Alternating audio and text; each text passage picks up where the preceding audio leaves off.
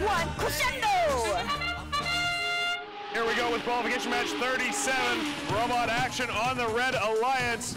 Blue Alliance looks like we've had a little bit of action, 68-59, aiming up into that blue speaker. Red Alliance 16, Blue Alliance 14, waiting for the buzzer. There it is, and we're in to tally up.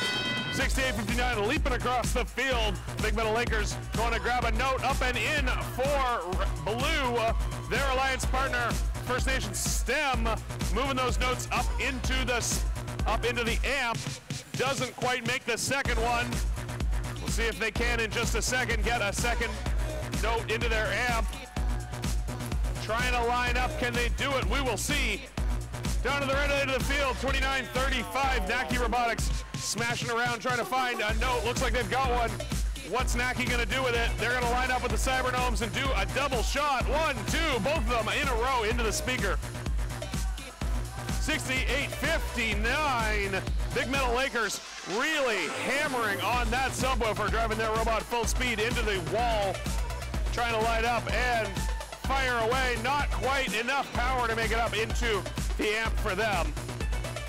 Cybergnomes lining up. Up it goes, in it goes. C4 Robotics shoots another one right on top of the Cybergnomes. Gnomes now trying to chase it down under the stage. Looks like they've got it. 68-59 BML. They are going for that one up there.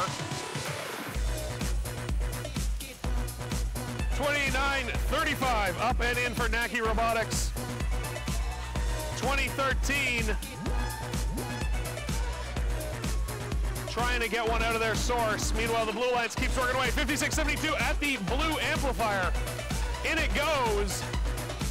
Another light up on the stack light there as the number of amps grows there. Down to the blue eh, or the red end of the field. Naki and Cybergnomes get double shots into the red speaker. At the blue end of the field, 69-87 trying to get up as we hear the 20 second guitar riff. 69-87 trying to get on that chain, lift their robot up into the air. First Nation STEM trying to do the same.